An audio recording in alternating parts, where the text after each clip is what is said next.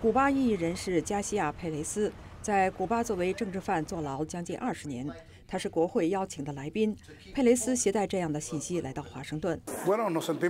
我们感到受到了欺骗，受到了伤害，感到被那个本应当是我们主要盟友的政府背叛了。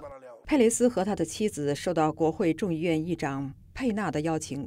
到国会旁听总统国情咨文演说。共和党众议员罗斯雷提南则邀请被古巴军人打死的一位古巴裔美国活动家的女儿参加国情咨文发布会。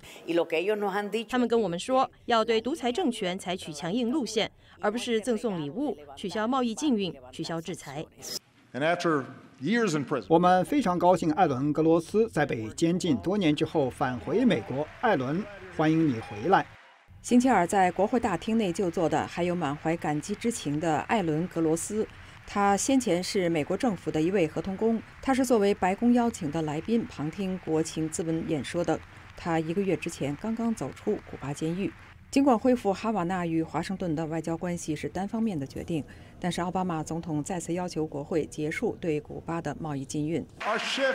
我们改变对古巴政策，有可能结束西半球多年来的不信任，消除古巴实行各种限制措施的虚假理由，支持民主价值观，向古巴人民伸出友谊之手。但是，拉美问题专家卡尔·米查姆说，在古巴问题上两党意见不一，并不意味着国会会在这个问题上陷入僵局。我想我们会看到比我们想到的更多的变革。我不知道他们是否会解除贸易禁运。